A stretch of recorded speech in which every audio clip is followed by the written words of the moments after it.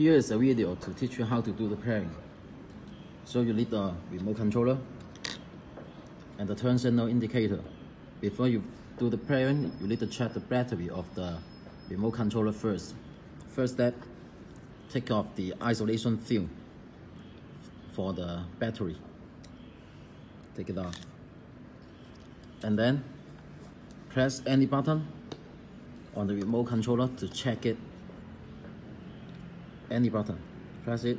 You see there is a small light here. Turn on for around one second. So that means this uh, remote controller is full.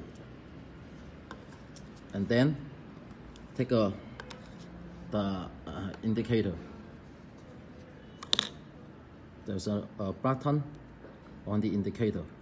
Long press it for three to five seconds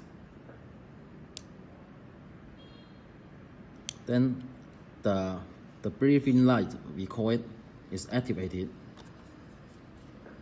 Then you press the remote controller. Toot, toot.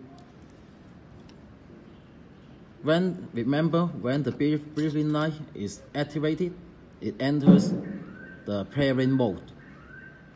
In this mode, you just press the button on the remote controller, left or right, depends on you.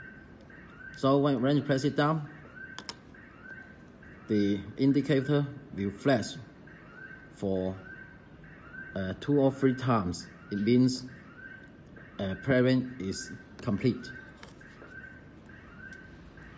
You see, okay?